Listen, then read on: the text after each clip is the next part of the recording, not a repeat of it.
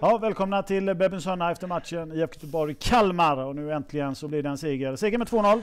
Målskyttarna är på plats här. Tobias Hysén, Niklas Barkeroth. Eh, först eh, Tobias. Hur eh, jäkla skönt är det här? Ja, just nu så känns det bara... Eh, ja, jag vet inte vad man ska säga. Det, man blir inte sådär fruktansvärt glad utan mer så här. Äntligen! Alltså fan vad gött bara. Lättnad?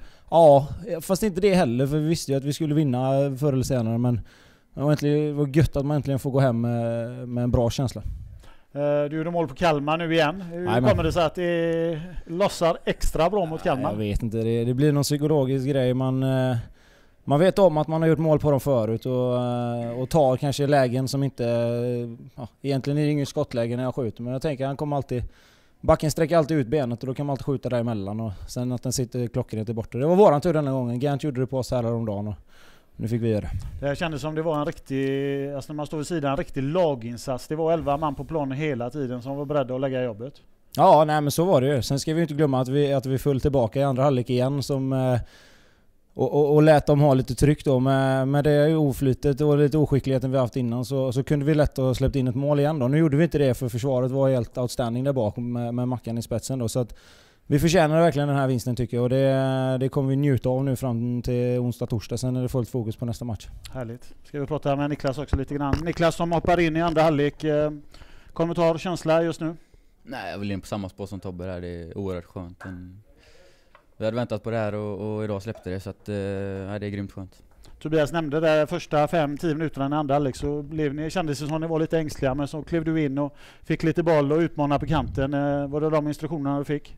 Ja, lite så var det väl. Sen så, så är det klart att jag fick en lite pingelslung också. Jag kände väl att eh, de kom igenom lite lätt på min kant några gånger där men eh, eh, jag hade några bra offensiva kombinationer och det var väl instruktionerna från Jonas att jag ska, ska försöka skapa målchanser åt oss.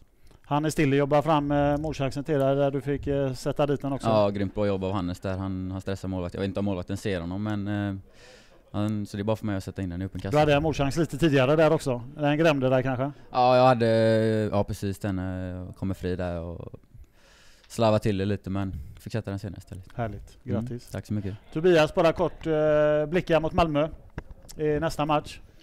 Tankar där? Du skiter faktiskt i den matchen just nu. det får vi ta eh, som jag sa där, onsdag, tisdag, onsdag, torsdag någonstans får vi, får vi börja fokusera på den. Nu får vi, nu får vi vara glada och gotta oss i att vi har vunnit och eh, sen får vi ta Malmö sen. En kort bara, 10 000 på plats som eh, lyfter er hela matchen igenom.